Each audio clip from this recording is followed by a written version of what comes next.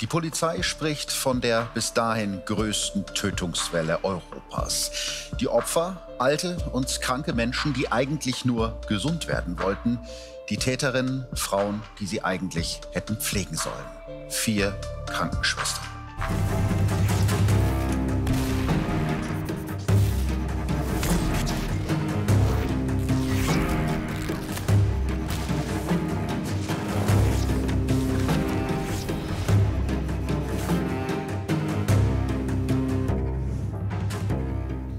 Hallo und herzlich willkommen zu den neuen Folgen von Verbrechen von nebenan auf Sky Crime.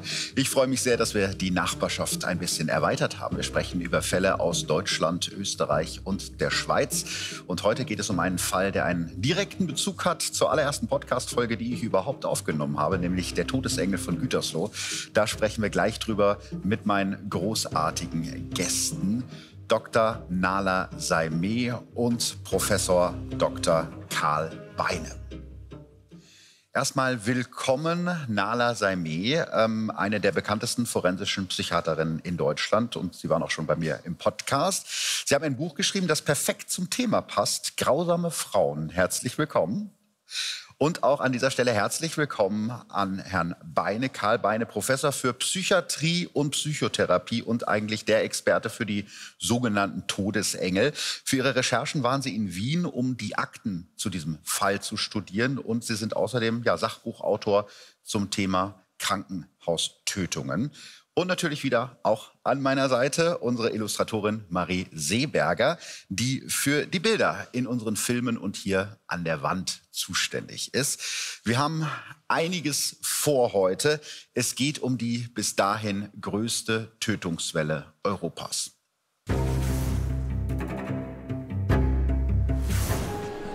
Wien in den 50er Jahren. Die prima Ballerina Julia Drapal erlebt auf der Bühne der Staatsoper den Höhepunkt ihrer Karriere. 30 Jahre später endet ihr Leben alles andere als schillernd. Halbseitig gelähmt liegt die ehemalige Tänzerin nun auf Station D im Pavillon 5 des Wiener Krankenhauses Leins. Eine Thrombose in der Halsschlagader hat das Leiden ausgelöst. Es ist circa 5 Uhr morgens. Die diensthabende Hilfsschwester Irene hält an ihrem Bett.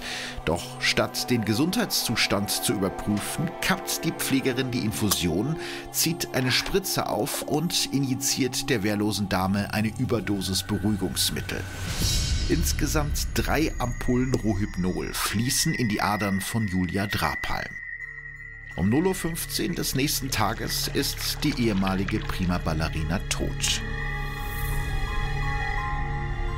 Doch sie bleibt nicht das einzige Opfer. Drei Tage sind vergangen und wieder greift die Hilfsschwester zur Spritze. Ihr Opfer dieses Mal der 83-jährige Stefan F. Er verstirbt am nächsten Mittag. Wieder ein paar Tage später folgt das nächste Opfer, Johann Z. Dem bettlägerigen Mann wird ein kleiner Becher mit Wasser in den Mund geschüttet und seine Zunge mit einem Holzspatel nach unten gedrückt.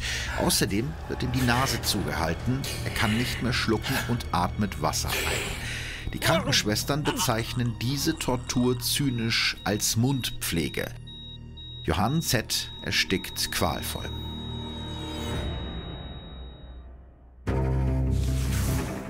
Ja, was für ein furchtbarer Tod. Man ertrinkt sozusagen im eigenen Bett. Frau Seime, ich habe vorher von dieser Mordmethode ehrlich gesagt noch nie gehört. Ähm, ist das eine typisch weibliche Mordmethode, falls es das überhaupt gibt?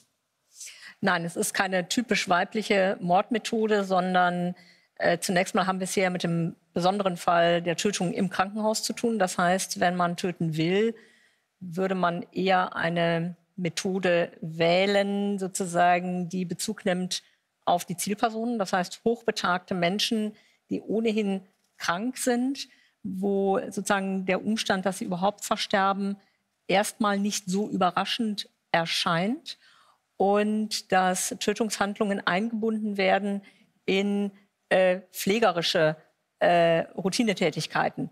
Und nun ist das natürlich ähm, eine Art besonders perfides Waterboarding. Das muss man ja ehrlicherweise sagen, das ist eigentlich der Begriff, der mir am ehesten dazu mhm. einfällt. Weniger Mundpflege als Waterboarding.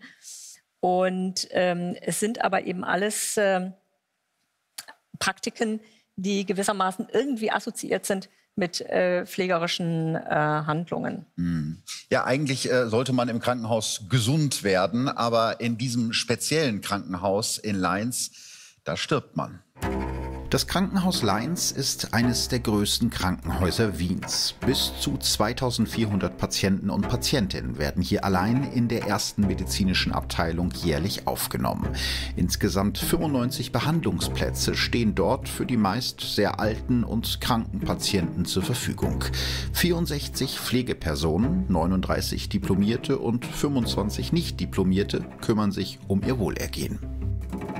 Ja, das sieht für mich alles auf den Bildern sehr, sehr trostlos aus. Ähm, Herr Beine, Sie waren in dem Fall auch äh, vor Ort in Wien, haben sich die Akten und das alles angeschaut. Ähm, warum haben Sie sich so intensiv mit diesem Fall beschäftigt? Ich habe mich damit beschäftigt, weil es für mich ein völlig bis heute unfassliches Geschehen ist, dass Menschen, die in Krankenhäusern als Helferinnen und Helfer arbeiten, in unterschiedlichen Berufsgruppen, hingehen und ihnen anvertraute schutzlose Patienten töten, vorsätzlich töten. Und das geht eben zurück, diese Unfasslichkeit, auf eine sehr persönliche Erfahrung in einem Krankenhaus, in dem ich gearbeitet habe, in Gütersloh, hat ein Pfleger, den ich kannte, Patienten umgebracht, die ich kannte. Mhm. Und diesen Patienten, speziell einen, den hatte ich in mein Herz geschlossen den mochte ich. Hm. Ja, das ist der Fall, der uns sozusagen äh, verbindet. Wolfgang L., der Todesengel von Gütersloh, war eine der allerersten von meinen Podcast-Folgen. Wirklich eine unglaubliche Geschichte. Da kommen wir gleich nochmal zurück, denn es gibt durchaus Parallelen äh, zwischen diesen Fällen. Was mich jetzt nochmal interessiert, wir haben das ja gerade in dem Video schon gesehen, 64 Pflegekräfte auf 2400 Patienten im Jahr. Mir jetzt als Laie scheint das sehr wenig zu sein. Ist das so? Ja, das ist äh, unverantwortlich wenig, insbesondere auch deshalb, weil wir im Pavillon 5 reden über schwer und schwerstkranke Menschen, die der intensiven Pflege bedürfen. Und ähm, es hat sich ja relativ deutlich herausgestellt, dass die Stationshelferinnen stellenweise zu zweit waren für mehr als 40 Patienten während einer Schicht. Und es ist einfach undenkbar, dass auch nur näherungsweise eine menschenwürdige Versorgung möglich ist äh, mit einer Personalbesetzung von zwei Hilfsschwestern. Das ist ein Unding, ist eine Überforderung. Es ist so, dass es nicht verantwortlich ist, eine solche Situation so zu lassen, auch nicht 1987, 86 und 85. Mhm. Ja, Sie haben es gerade ganz schön auf den Punkt gebracht. Die Mitarbeiterinnen und Mitarbeiter auf der Station sind natürlich völlig überfordert. Wir waren arbeitsmäßig sehr überlastet. Wir sind oft nicht zum Essen gekommen, oft konnten wir nur mit Mühe aufs Klo gehen. Es war Aufnahme, Entlassung und Exitus ununterbrochen. Ja, wenn man sich das einfach nochmal vor Augen führt, hier geht es ja um Menschen, ja, wenn hier vom Exitus gesprochen wird, wirklich um Menschenleben. Ähm, sind denn die Verhältnisse mittlerweile besser geworden? Sie haben es gerade schon gesagt, das ist natürlich ein bisschen her, vor allen Dingen auch bei uns in Deutschland. Naja, das ist relativ. Mhm. Will sagen, dass wenn ich 1000 Krankenhauspatienten zugrunde lege, dann versorgen in Deutschland 19 Krankenpflegekräfte diese 1000 Patienten. In Norwegen sind das 40 Krankenpflegekräfte, die diese 1000 Patienten versorgen. Ja, wir sind also noch lange nicht da, wo wir eigentlich sein sollten. Das haben Sie gerade, finde ich, ganz schön auf den, auf den Punkt gebracht. Wenn wir uns jetzt mal Lines angucken, auch wirklich in den Details, ähm, da hat das natürlich direkte Konsequenzen für die Patienten. Dieser große Personalmangel, diese Überforderung, die da herrscht. Immer wieder gibt es Beschwerden über mangelhafte Betreuung. Patienten liegen teilweise äh, stundenlang in ihrem eigenen Code. Ähm, die Klingeln sind außer Reichweite. Ähm, es ist ein sehr rauer Umgangston. Ich hoffe, zumindest sowas passiert heutzutage nicht mehr. Oder wie würden Sie das einschätzen? Es übersteigt auch meine Vorstellungskraft, dass ein ähnlicher Fall sich heute in Westeuropa wiederholt und damit auch äh, in Deutschland sich wiederholt.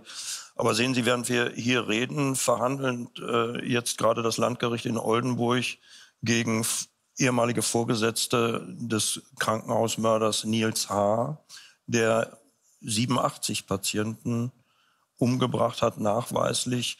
Und auch das ist angeblich erstmal nicht aufgefallen und niemand hat Verdacht geschöpft.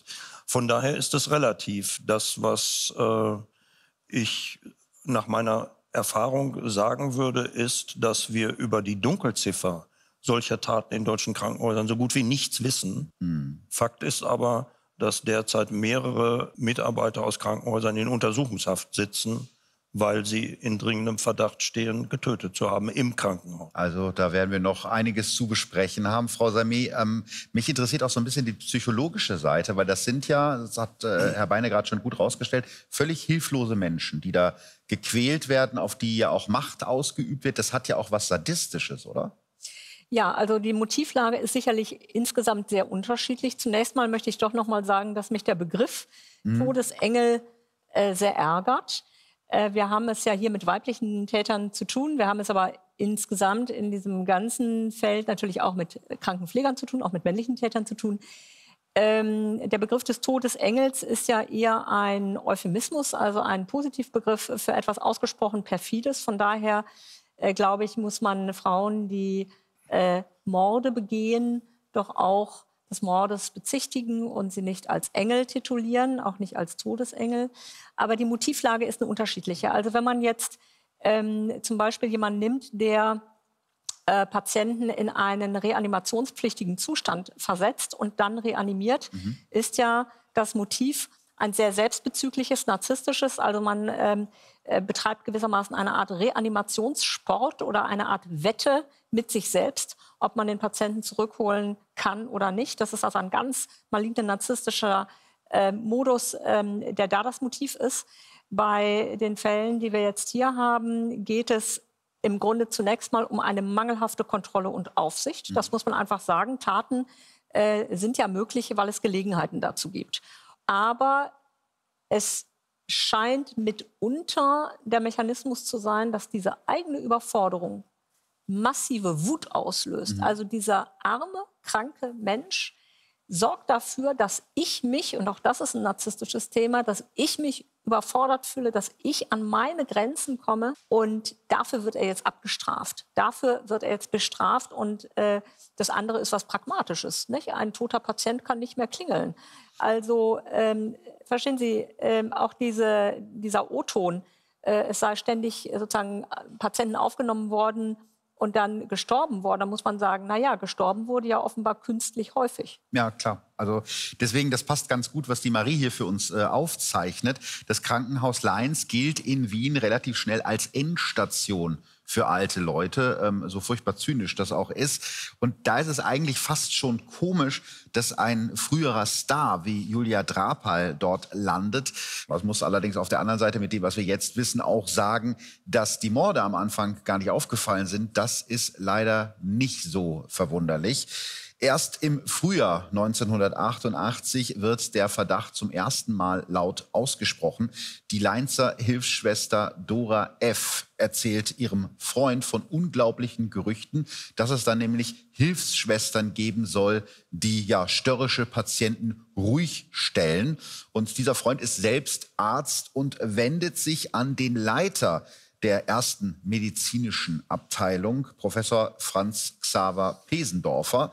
Und ganz kurz danach gibt es einen verdächtigen Todesfall auf der Station. Die Polizei wird eingeschaltet, aber die Obduktion bleibt ergebnislos. Und der Chefarzt Professor Pesendorfer verweigert weitere Zusammenarbeit mit der Polizei.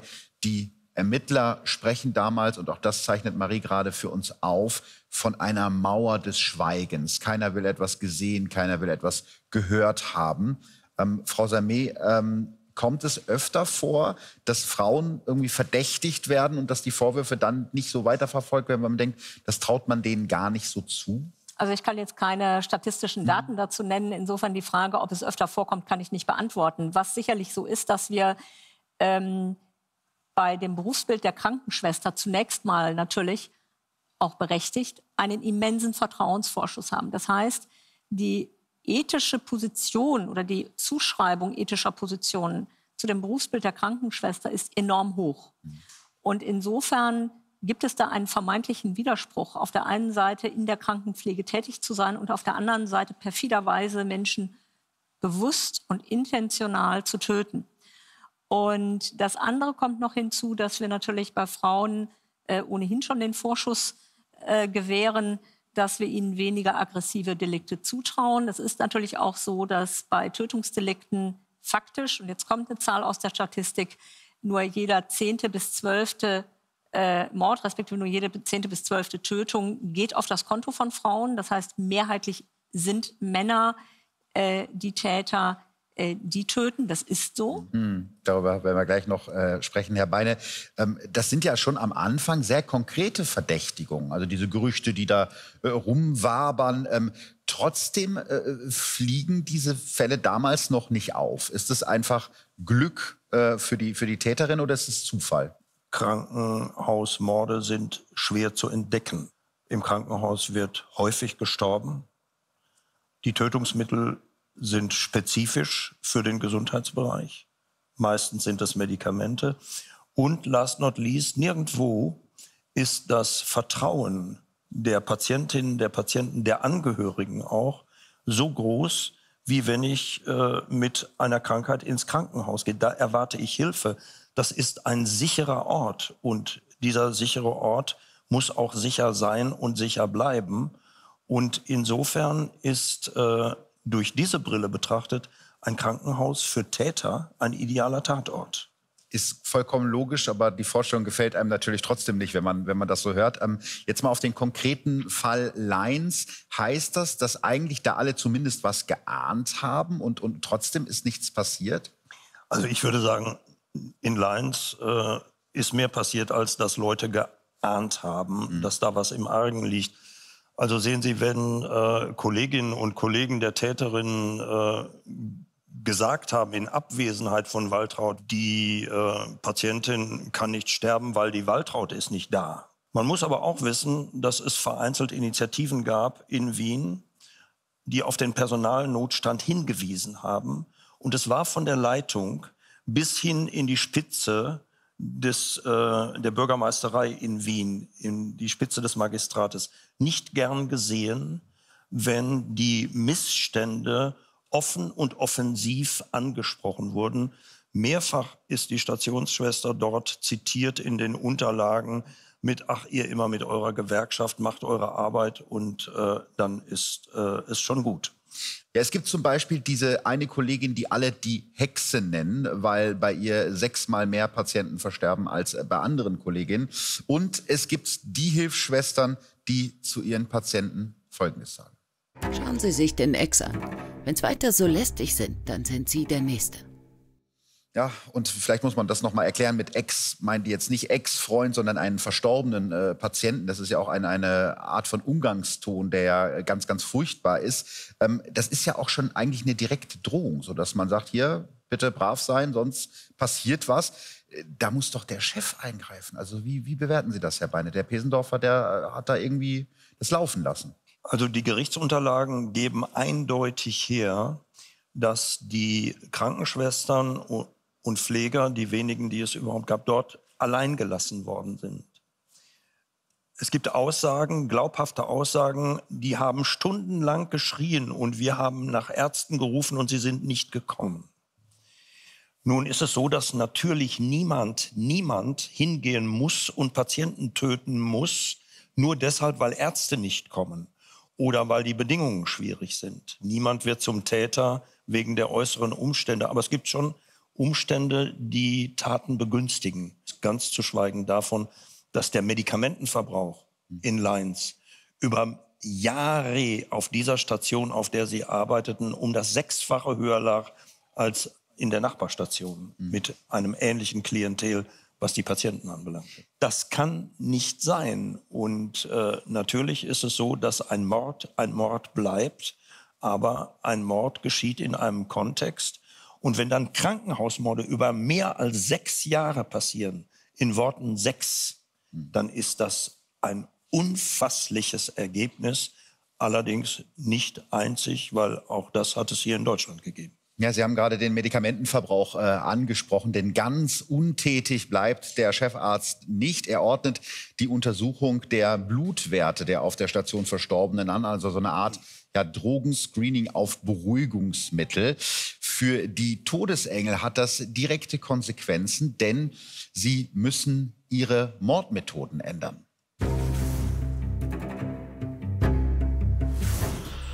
Es ist der 2. April 1989. Was nun im Leinzer Krankenhaus passiert, wird von der Staatsanwaltschaft später als die Nacht des Grauens bezeichnet.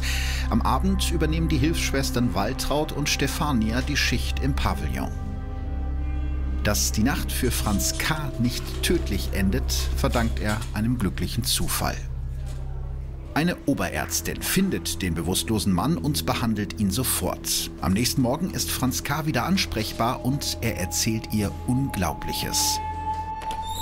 Eine Schwester, an die er sich nicht mehr erinnern kann, hatte ihm nachts eine Insulinspritze gegeben. Er hatte sich darüber noch gewundert, dann wurde ihm schwindlig. In der gleichen Nacht tötet Schwester Irene mit einer Überdosis Insulin einen anderen Patienten und am nächsten Morgen verhindert nur der Einsatz von Schwester Stefania, dass Schwester Waltraud einem dritten Patienten die Todesspritze setzen kann. Es vergeht ein Tag, bis die Polizei einschreitet und Ärzte und Hilfsschwestern des Spitals befragt werden. Am 7. April gestehen Waltraud und Stefania endlich die Taten. Sie benennen ihre beiden Komplizinnen und belasten sich in den Verhören gegenseitig. Also nicht nur eine, sondern gleich vier Täterinnen, die morden, zum Beispiel eben mit Beruhigungsmitteln. Christian Reiter hat damals die gerichtsmedizinische Untersuchung gemacht und ich wollte von ihm wissen, wann Beruhigungsmittel tödlich sein können. Also diese Wirkstoffgruppe Benzodiazepine wird ja allgemein gepriesen als relativ ungefährlich. Äh, und es gab sogar einen Professor, der gefragt wurde, kann man mit einem Benzodiazepin jemanden umbringen? Und da hat er auf gut Wienerisch gesagt, ja, wenn man ihm das Schachtel so oft über den Schädel haut, äh, bis er einen Schädelbruch hat, schon. Nun, de facto ist es aber so, dass diese Wirkstoffe ähm, die Atemfrequenz etwas reduzieren. Und wenn die Patienten im Sterben dann noch weniger atmen, weniger oft atmen, dann nehmen sie weniger Sauerstoff ins Blut auf.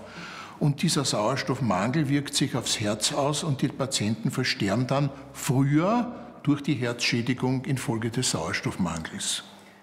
Ja, also ein scheinbar sowieso schon kranker Patient, der dann offenbar an einem Herzinfarkt stirbt. Also das ist, wenn man da nicht ganz genau hinguckt, dann äh, merkt man das wahrscheinlich einfach gar nicht. Spannend ist ja auch in den Ermittlungen, dass sich alle vier Frauen gegenseitig belasten.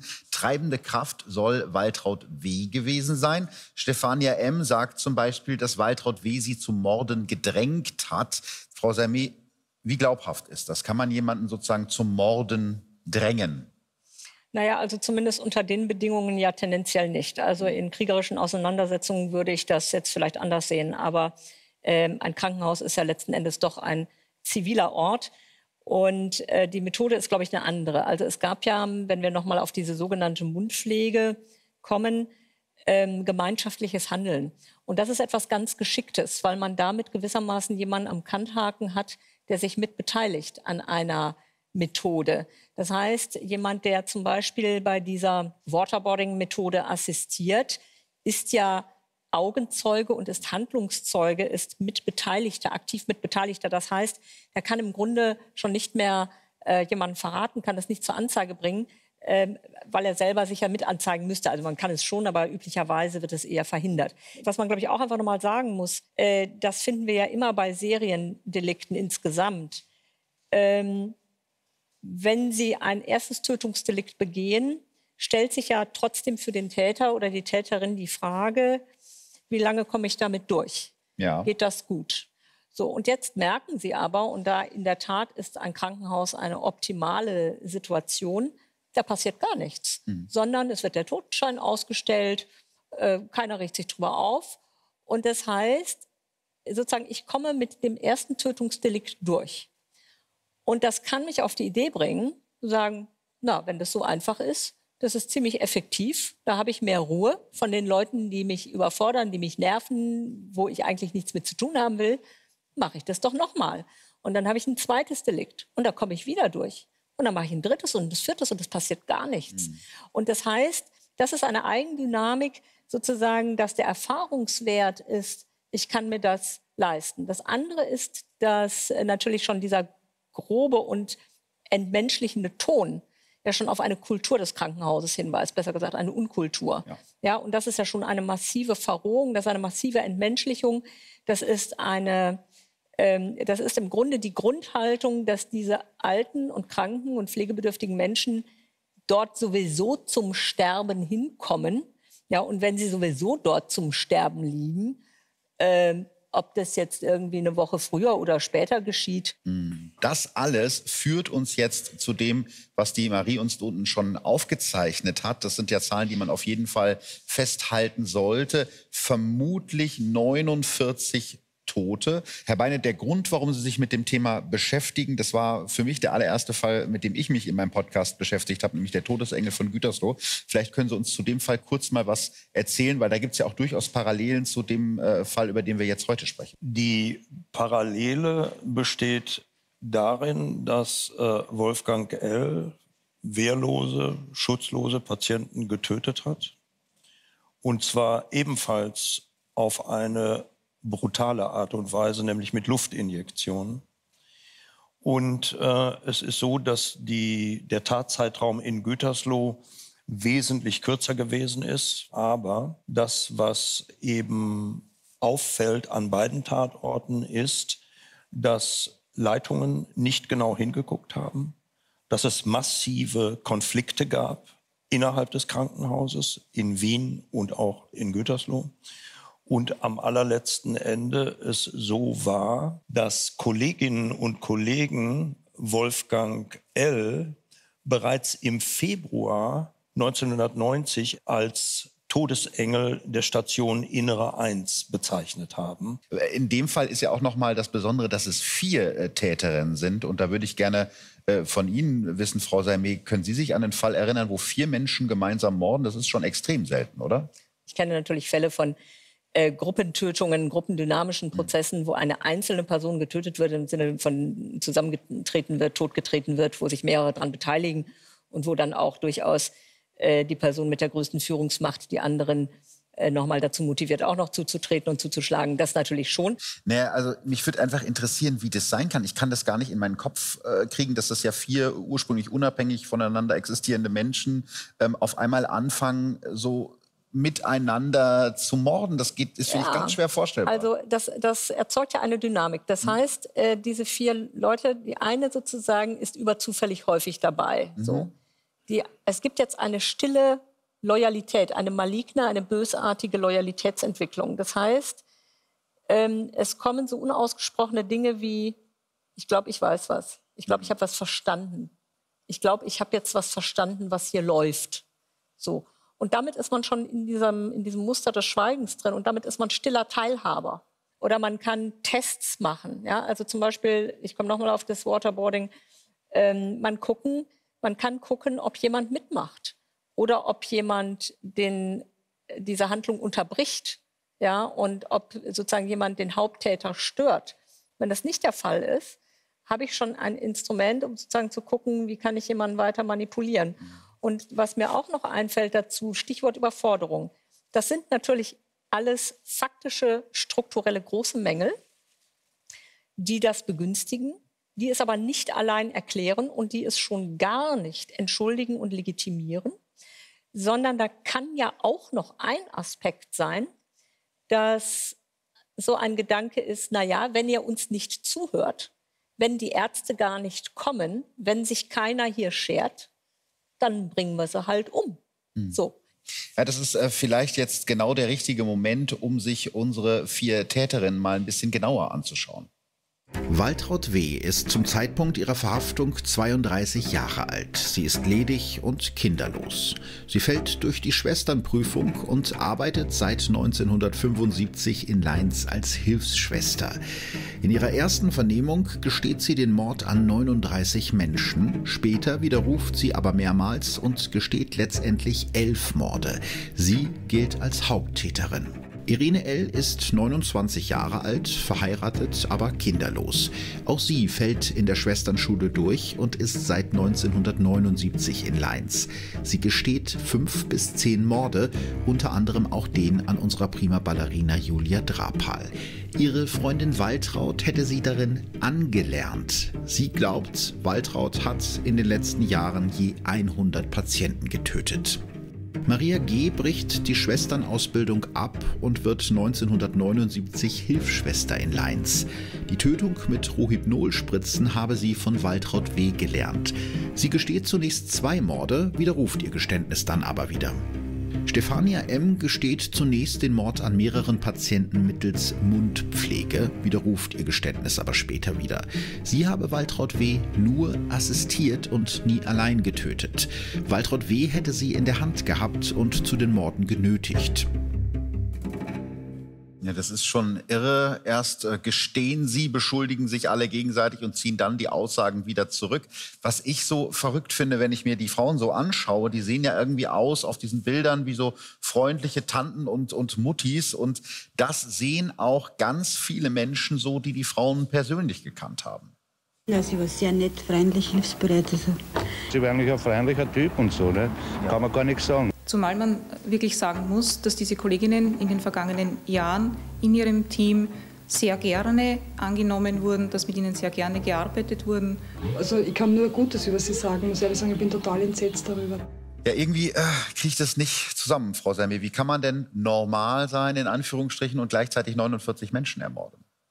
Na, die Normalität gehört ja in dieser Weise zum Handwerkszeug für die Serie, sonst würden sie ja früher auffallen.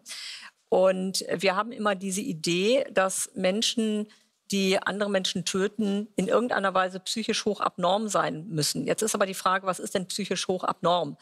Das sind ja alles Frauen, die haben mehr oder minder begrenzte äh, berufliche Bildungsressourcen, aber sie sind erstmal normal intelligent, dass sie einen Alltag für sich in irgendeiner Weise besorgen können. Und das alles sind ja erstmal Funktionsweisen, die eine gewisse psychische Normalität oder eine gewisse Befähigung zu einem regelmäßigen Leben mit sich bringen. Ähm, die Motive sind unterschiedlich. Das ist eben eine Überforderung vielleicht auf der einen Seite. Es können auch ganz andere Motive sein, dass plötzlich etwas äh, hochkommt wie eine Kränkung. Es sind ja zwei Leute, die haben ihre Ausbildung nicht abschließen können, weil sie dazu nicht befähigt genug waren.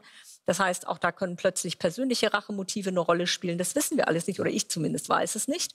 Aber sie brauchen keine psychische Auffälligkeit dafür, sondern sie brauchen eine innere Überzeugung, um ihr Handeln zu legitimieren. Und diese inneren Überzeugungen sind im Grunde unmenschliche Alltagsüberzeugungen. Alte Leute sind dort krank, die haben ihr Leben gelebt, die sind hochbetagt. Und da kommt eine Kaltschnäuzigkeit und ein Überdruss äh, zustande. Hm, ich würde gerne von Ihnen wissen, Herr Beine, weil Sie eben viele von diesen Fällen untersucht haben.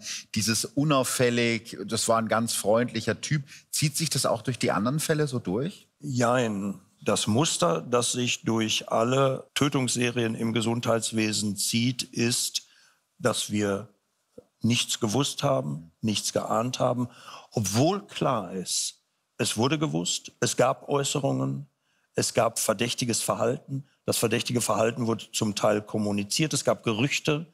Es gab mangelhaften, ungenügenden Aufklärungswillen. Alles das hat es gegeben. Und das ist das Muster, dass wir im Nachhinein dastehen und sagen, uns ist nichts aufgefallen. Hm. Ja, wir haben ja gerade schon über die Überbelegung der Station gesprochen. Das war auch etwas, was die Frauen als Motiv angegeben haben zumindest. Und es kommt dann eben noch die Überforderung äh, dazu. Auch das haben die Frauen angegeben. Denn obwohl die Frauen nur in Anführungsstrichen Hilfsschwestern waren, verabreichen sie Injektionen und Medikamente. Und das ist eigentlich gar nicht ihre Aufgabe. Geprüfte Stationsgehilfinnen sind dazu da, das diplomierte Krankenpflegepersonal im Pflegedienst zu entlasten. Sie haben eine Grundausbildung in der Krankenpflege und sind daher berechtigt, wenn sie diese Ausbildung gemacht haben, einfache Hilfsdienste im Rahmen der Grundkrankenpflege für die Patienten mit Unterstützung und unter Anleitung der diplomierten Krankenschwester zu tun. Also zu diesen Tätigkeiten gehört zum Beispiel die Körperpflege des Patienten, die Ernährung des Patienten, die einfache Mobilisation.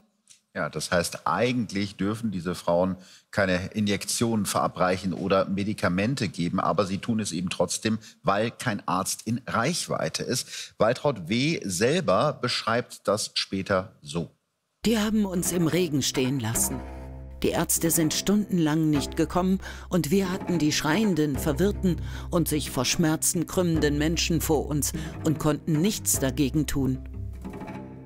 Ja, das ist ziemlich deutlich. Marie zeichnet uns das gerade auch auf der, auf der Wand, diese Überforderung, äh, was man an so einem Tag irgendwie alles unterbringen muss. Das ist ja ein, ein Motiv, was alle vier angeführt haben. Ähm, was mich noch mal interessiert, Herr Beine, wir haben jetzt gerade die Ärzte auch äh, über die Ärzte auch gehört. Die müssen sich doch auch Kritik äh, gefallen lassen eigentlich, weil ich habe das Gefühl, die kommen in dieser Geschichte bisher ziemlich gut weg. Ja, den Eindruck äh, kann man haben. Wenn man aber die Prozessakten studiert, dann sieht man ein weitgehend komplettes Führungsversagen. Mhm. Diese Pflegedirektorin, die wir gerade gesehen haben, hat sicherlich Dienstpläne gesehen, auf denen im Hauptdienst nur Hilfsschwestern waren. Mhm. Und es war ein offenes Geheimnis, dass der Chefarzt ein Frauenfreund war und insbesondere neu ankommende junge Assistenzärztin besonders intensiv anleitete. Mhm. Es war überhaupt kein Geheimnis, dass es eine suchtkranke Oberärztin gab, die besonders nett war und besonders freundlich war, aber auch besonders viele Fehler gemacht hat. Alles das war bekannt. Und selbstverständlich weiß jeder Chefarzt, dass wenn zwei Hilfsschwestern mehr als 40 Patienten versorgen, dass das nicht geht mhm. und dass ich eigentlich Krach schlagen muss von morgens bis abends und am Ende denen sagen muss, Leute, wenn sich das nicht ändert, dann gehe ich mhm. und ich gehe nicht leise. Ja. Also Sie haben das jetzt gerade sehr schön auf den Punkt gebracht, aber äh, die Politik und äh, der Chefarzt sehen das naturgemäß ein bisschen anders. Ich muss mir keinen Vorwurf machen. Das sind ja letztlich dann Patienten, die aufgrund ihres Krankheitsverlaufes ja nicht darauf einen Hinweis gegeben, dass hier Fremdverschulden vorgelegen hat. Eine politische Verantwortung für kalte, hinterhältige Mörder kann es grundsätzlich nicht geben. Wäre ich an der Stelle des Professor Pesendorfer gewesen, dann äh, glaube ich sehr wohl, dass durch dieses raffinierte Vorgehen ein derartiges langes Verschleiern möglich gewesen wäre. Ja, man macht sich da relativ einfach und sagt, die Frauen sind schuld und sonst eben keiner. Aber wir haben ja gerade schon von Ihnen gehört, Herr Beine, dass es so einfach eben nicht ist. Ähm, ich würde gerne wissen, gibt es so eine Art allgemeines Motiv bei den Patiententötungen? Weil Mitleid wird ja auch immer äh, angeführt, dass man gesagt hat, ja, die, denen ging es so schlecht, wir haben es doch nur gut mit denen gemeint. Ähm, ist das etwas, was sich auch so durchzieht? Sie müssen zwei Tätergruppen unterscheiden. Mhm. Die eine Tätergruppe deutlich geringer von der Zahl ist diejenige, Gruppe, die sich ähm, narzisstisch aufgeladen, geltungssüchtig Ansehen verschafft durch gekonnte Reanimation, also durch Wiederbelebung. Also Nils H. zum Nils Beispiel. H. zum Beispiel ist der Prototyp, gleichzeitig aber in Deutschland auch der einzige. Mhm. Überwiegend äh, töten die äh, Leute direkt mit Mitteln, äh, die im Krankenhaus üblich sind. Und sie geben vor, aus Mitleid gehandelt zu haben mit den armen, schmerzgequälten, sterbenden Menschen. Fakt ist, sie kannten die Patienten kaum. Sie wussten nichts über deren Wünsche und Bedürfnisse. Fakt ist, dass sie stellenweise Patienten getötet haben im Beisein von Angehörigen, dass sie Patienten getötet haben, die eindeutig auf dem Weg der Besserung waren, die ja die kurz vor der Entlassung waren. Alles das aus Mitleid. Ja, man, man, kann also eigentlich gar nicht sagen, dass es so, so so ein äh, Opfertyp für diese sogenannten Todesengel äh, gibt. Das kann eigentlich jeden treffen, oder? Ja. Das macht mir Sorgen, Herr Beiner.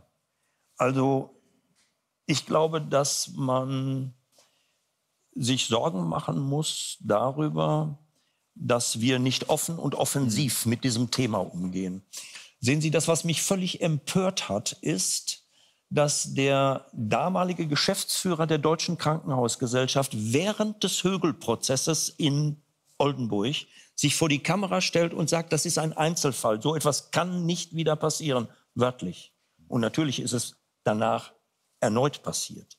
Ja, und die Frage ist ja halt, ob diese kriminellen Menschen äh, oder ihre Handlungen dann dazu führen, dass eine oder zwei Personen sterben oder wie in dem Fall, wie wir es jetzt hier sehen, äh, vermutlich 49 Tote, was ja eine unglaubliche Zahl ist. Oder eben wie im Fall von Nils H. 87, wobei mhm. alleine in seinem Fall 130 Leute während der Dienstzeit von Nils H. verstorben, feuerbestattet worden sind und wir nichts wissen über deren nähere Todesumstände. Das ist ja in dem Fall ähnlich. Ne? Man vermutet 49 Tote, vielleicht sind es aber auch sechsmal mehr. Das wären ja wirklich so äh, unglaubliche Zahlen. Angeklagt sind am Ende nur 42 Fälle von Mord und versuchtem Mord.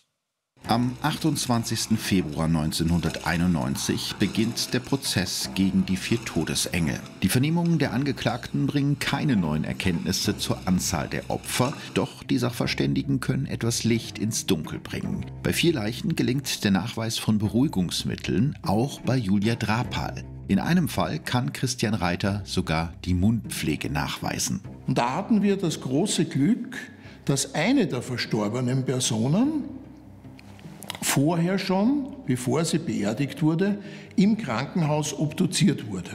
Die Pathologen haben hier Lungeninfarkte diagnostiziert. Die haben mir dann diese mikroskopischen Präparate angesehen und haben gesagt, nee, das ist kein Lungeninfarkt, sondern das ist das, was wir als Gerichtsmediziner kennen als sogenannte Paltaufsche Flecken. Also wenn Flüssigkeit in die Atemwege geschüttet wird, dann kommt es zu einer Überblähung der Lunge. Diese Überblähung der Lunge führt zu Zerreißungen der Lungenbläschen. Dort blutet es hinein und das Süßwasser löst die roten Blutzellen auf und man hat dann Flecken unter dem Lungenfell, die sehr charakteristisch sind und die man im mikroskopischen Präparat identifizieren kann. In allen anderen Fällen gelingt kein gerichtsmedizinischer Nachweis. Die Opfer sind zu stark verwest oder wurden verbrannt. Also von den 42 angeklagten Fällen lassen sich nur fünf einwandfrei beweisen. Alles andere beruht auf Geständnissen. In dem Prozess sagt ja auch Franz K. aus, das ist derjenige, der diesen Insulinanschlag überlebt ja. hat. Sein Sohn erinnert sich, dass eine Pflegerin nach einem Malheur seines Vaters gesagt hat, Alter, wenn du noch einmal ins Bett machst, dann kriegst du Schwierigkeiten. Und Frau Sameh, das konnte ich jetzt gar nicht verstehen, wenn ich mir vorstelle, mein pflegebedürftiger Vater liegt im Krankenhaus, ich bekomme mit, dass das Personal so mit dem umgeht, würde ich ja erstens einschreiten, das ist der erste Punkt und das zieht sich ja auch durch, denn äh, von diesen ganzen Verwandten der Verstorbenen ist ja auch keiner als Nebenkläger aufgetreten. Ähm, haben Sie eine Erklärung dafür? Ja, also da glaube ich, ähm, addieren sich ungünstige Milieufaktoren. Also das eine ist natürlich in der Tat, äh, eine, eine solche Äußerung würde zwingend notwendig dazu führen, dass man sich sofort an die Krankenhausleitung wendet, möglicherweise aber vor allen Dingen auch an die Krankenhausaufsicht. Also ich glaube, da müsste man das ganz große Rad drehen, weil wenn eine solche, eine solche Bemerkung kommt, und da reicht eine, dann weist es nach meinem Befürhalten hin auf, ein, äh, auf eine Kultur oder Unkultur in einer solchen Institution, äh, bei der es viele dieser Bemerkungen gibt. Ähm, das heißt, möglicherweise addiert sich auch eine Überforderungssituation der Angehörigen damit, möglicherweise. Das andere scheint mir aber auch äh, das Risiko zu sein, ähm, in einer komischen äh, Unterordnungsmanier sich unter medizinisches Personal unterzuordnen. Das heißt, die Halbgötter es sind in Weiß. die Halbgötter in Weiß und die, und die äh, Krankenschwestern sind so die Viertelgöttinnen mhm. in Weiß. Und das äh, ist alles medizinisches Fachpersonal. Und was soll man da als medizinischer Laie machen? Und vielleicht geht es auch zu Hause insgesamt grob zu. Ähm, also Angehörige haben ja nicht immer ein ganz komplettes Verständnis auch von den Erkrankungen und Krankheitssymptomen ihrer erkrankten Familienmitglieder. Also da scheint mir einiges äh, sich zu addieren. Ja, das stimmt. Ähm, deswegen finde ich es ganz äh, spannend, mal zu schauen, was eigentlich äh, das Gericht zu dieser ganzen Geschichte sagt. Das Urteil fällt am 29. März 1991. Ja, wir sehen hier auf der linken Seite Waltraud W., ja die sogenannte Haupttäterin, die wegen 15-fachen Mordes zu einer lebenslangen Haftstrafe verurteilt wird. Irene L., die ebenfalls lebenslang bekommt wegen fünffachen Mordes, unter anderem an Julia Drapal. Stefania M., die wegen siebenfachen versuchten Mordes und einer fahrlässigen Tötung zu 20 Jahren Haft verurteilt wird. Und Maria G., die wegen zwei Mordversuchen zu 15 Jahren Haft verurteilt wird. Später wird diese Strafe, da kannst du schon mal direkt ergänzen, Marie, auf zwölf Jahre herabgesetzt. Ich würde gerne noch mal kurz auf die Mordmerkmale in diesem Fall äh, schauen, weil ich das auch ganz interessant finde. Ähm, Marie, du hast die schon für uns aufgezeichnet. Wir haben den vergifteten Apfel, der steht für Heimtücke, wie du ja. drüber geschrieben hast. Und was haben wir noch? Sonstige niedere Beweggründe und Grausamkeit. ah, okay. Bei der Mundpflege. Ja, viel grausamer kann man sich das eigentlich gar nicht vorstellen. Und Heimtücke ist ja natürlich eigentlich auch klar, weil jemand, der dann da liegt und, und hilflos ist und arglos ist, äh, der rechnet natürlich nicht, dass sowas passiert. Ähm, Heute sind alle vier Frauen wieder frei. Zuletzt wurden 2008 Waltraud W. und Irene L. entlassen nach jeweils 19 Jahren Haft. Alle vier Frauen leben mit neuen Identitäten an unbekannten Orten und haben kein Berufsverbot bekommen. Das heißt, sie könnten theoretisch, wenn sie wollten, wieder in einem Krankenhaus arbeiten. Herr Beine, diese Vorstellung finde ich ehrlich gesagt so semi-beruhigend, dass die jetzt wieder an irgendeinem Krankenbett stehen könnten. Ja, ich teile diese Beunruhigung und kenne Fälle hier in Deutschland und auch außerhalb von Deutschland, in denen Berufsverbote verhängt wurden, mhm.